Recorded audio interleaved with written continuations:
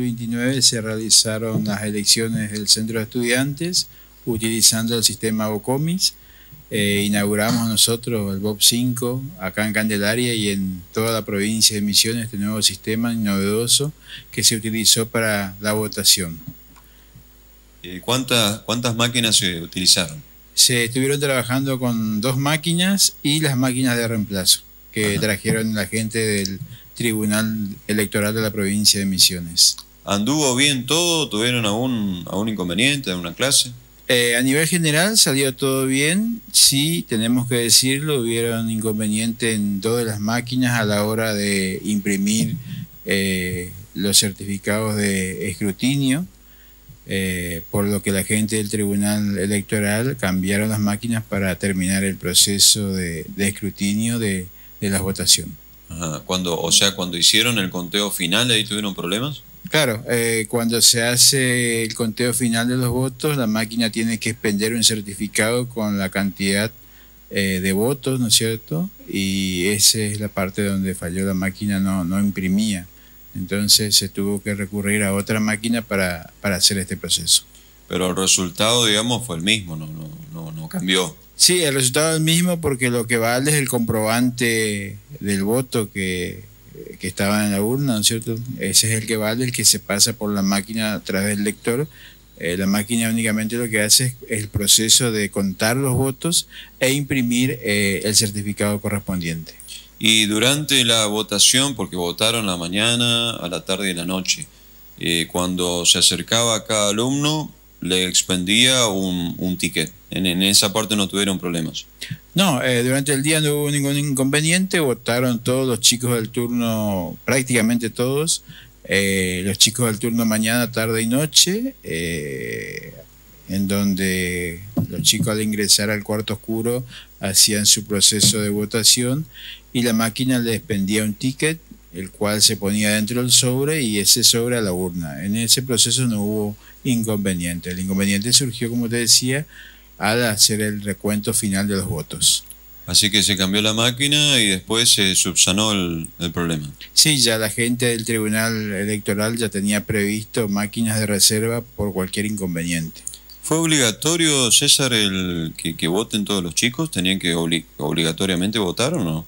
Eh, no, votaron los chicos que asistieron ese día a, a la escuela en cualquiera de los turnos, pero prácticamente votaron todos los que asistieron eh, porque es un derecho que tienen los estudiantes de, elegir libremente su centro de estudiantes.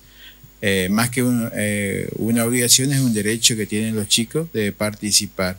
Y votaron todos los chicos que estuvieron presentes ese día. ¿Un total de cuántos en, total? 823 teníamos en padrón y votaron alrededor de... Llegamos casi a los 800. Bueno, Nahuel, ¿cómo andamos, Nahuel? Todo bien. Así, contento me imagino, ¿no? Sí. Bueno, eh, de verdad te, felicito y felicitamos también a, todos eh, tus compañeros que fueron tus competidores, digamos, ¿no? Eh, felicitamos también a ellos. Bueno, así que una, un, nuevo, un nuevo ciclo comienza a partir de ahora en el Centro de Estudiantes. ¿Tenés la planilla con los resultados finales? ¿Podemos dar a conocer un poquito? Sí, bueno, en la mesa número uno del turno mañana la lista naranja obtuvo 100 votos, eh, la lista azul 11, la lista amarilla 34 y hubo 0 votos en blanco. En la, mesa número 2 del turno mañana, eh, la lista número 3 color naranja obtuvo 101 votos, la lista azul 6, la amarilla 35 y tampoco hubo votos en blanco. Eh, por la tarde, en la mesa número 3 del turno, del, del turno ya antes mencionado, la lista naranja obtuvo 22 votos, la lista azul 45 y la amarilla 36. En la mesa número 4, eh, eh, la lista número 3 obtuvo 8 votos, la lista azul 82, la amarilla 29 y hubo un voto en blanco.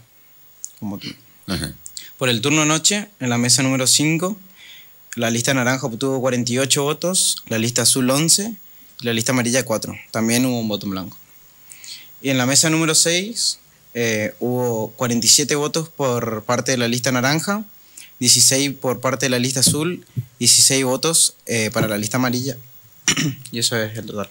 Bueno, resultado total entonces. Para la lista naranja, 326 votos, la lista azul, 171 y la lista amarilla, 157 y votos en blanco hubo dos. Ajá. Bueno, así que eh, tu lista ganó entonces ampliamente. Y ahora, eh, ¿cómo es la modalidad con respecto a las demás listas? Eh, ¿De alguna manera se los integra al centro de estudiantes? Sí, previamente a la votación, eh, por mi parte yo había hablado con los chicos de la lista azul, también con los chicos de la lista amarilla, y le había comentado que eh, si ganaba la lista número 3, que era la que yo representaba, eh, se los iba a int- integrar de alguna forma y también sus propuestas, ya que todos buscamos un objetivo en común. Pasar el mate ahí a César. ¿Gonzalo no toma mate? No. Ah, bueno, está bien.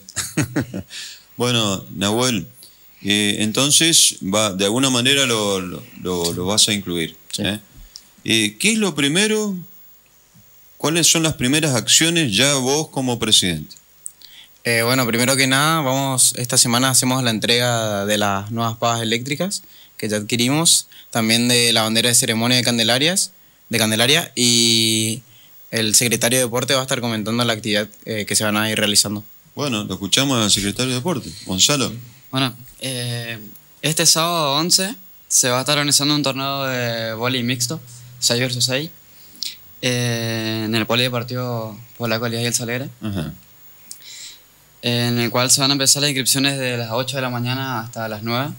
Eh, bueno, tenemos tiempo hasta más o menos a las 5 y media del torneo. Las hay dos categorías en el torneo, serían menores, que es de 12 y 17 años, y después libre, que es de 18 o más edad. Eh, las inscripciones es 20 pesos por jugador, que es algo que todavía no habíamos hecho. Siempre se cobraba un monto así, 100 pesos por ejemplo por equipo. Ahora vamos a cobrar 20 pesos por jugador. Ajá. Eh, los premios eh, son trofeos para los tres primeros de cada categoría, que son dos categorías.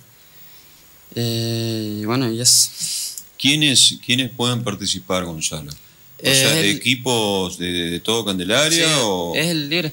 libre? Sí, Libre. Ajá.